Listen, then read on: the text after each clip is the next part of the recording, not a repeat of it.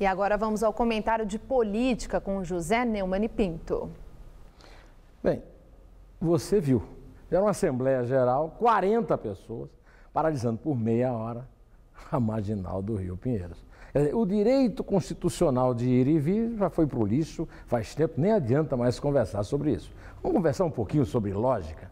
O Guilherme Boulos disse que o movimento dos sem-teto está fazendo um protesto contra a telefonia celular pela sua mal, má qualidade e pelo alto preço, porque isso foi decidido em assembleia.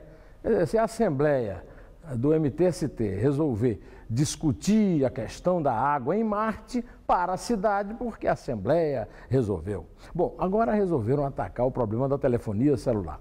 Eu também sou vítima da má telefonia celular. Só que eu já fui vítima da telefonia estatizada. Eu sou do tempo em que a telefonia estatizada provocava, produzia um tipo de produto de investimento que era o telefone. Telefones custavam como ações, como casas. Uma casa própria custava um telefone.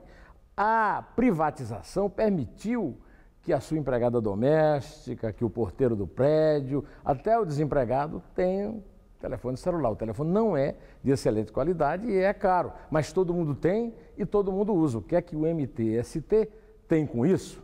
O MTST alega que precisa voltar a telefonia estatizada, em que mundo eles estão vivendo. Isso aí é tudo relações públicas. Relações públicas e chantagem, tentativa de sabotar o Estado democrático de direito.